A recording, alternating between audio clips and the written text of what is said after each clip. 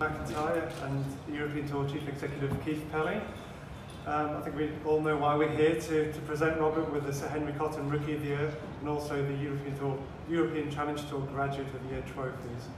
So Keith, if you would like to, to start by saying a few words, please. I, I would just like to uh, congratulate Robert on what was a, a, a brilliant first year on the European Tour. I think we all here agree that he is not only a spectacular player and with seven top tens, uh, he, he, had a, a, year worthy of, of, receiving both these awards, but he's also an incredible, uh, incredible young man uh, off the course as well, and uh, a testament to his upbringing. And, uh, and we look forward to watching Robert excel on the, uh, on the global stage. Uh, there is no doubt you come from a country that is rich in history. Uh, you're the 10th winner, I believe, of this, uh, this award. And it also, the fact that you have won the CT uh, Challenge Tour Graduate Award shows how important that particular tour is to the development. And then you look at tournaments, like I said yesterday, the Rolex Series and the DP World Tour Championship, and how that now sets you up on a global stage. I, I think you'll play a lot of major championships. I know you'll win a lot of European Tour events.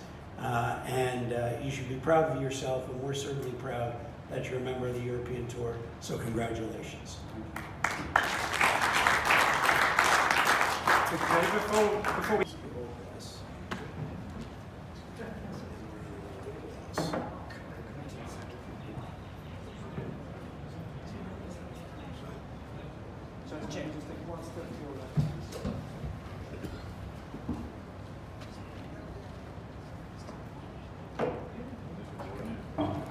delighted. I mean, halfway through the season, we, it became on the radar that we could could win um, both events, both awards. So it was something that we, we set out to do, and today we finally can can go to ease um, that we've finally achieved it, and now I'm absolutely over the moon for for it.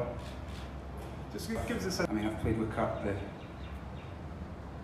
last three weeks, first rounds, it's always obviously been set up to do it. Um, but this week it, we fell into to playing two rounds So no, I mean I've, I've enjoyed the battle. Um, last few weeks have been hard because I've been I've been looking over my shoulder every week until last week where I, I got overtaken.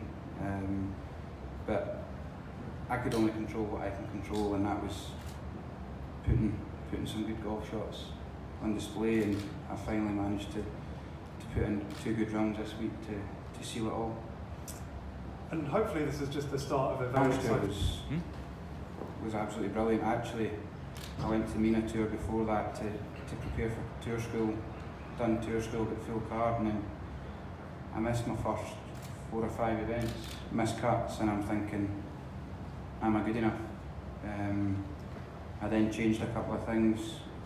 Greg came on the bag and since Greg's been on the bag, I feel like my game, we're going to make mistakes. We're, we're both 23 year old, we're young, we're learning, um, but the challenge too, I mean, the two of us learned our way on there um, and to to throw in, I mean, it was, we were down and out all the way until the, the second last event, the challenge tour, we were, we were sitting in 40th place.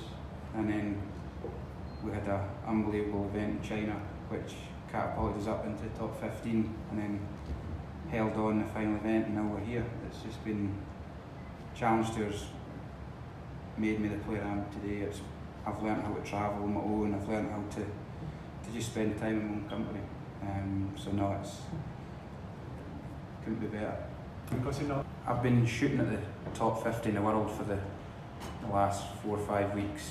Um, we've fallen just short, but the season's opened up doors for me. It's opened up WGC events, which I was gonna, I was going to be playing um, another few events this year if I was in the position that I've actually found myself in. But I'm calling it a day this year. It's I've played enough golf, and next year if, if I keep continue to do what I'm doing on the golf course, then in my own head it's a matter of time.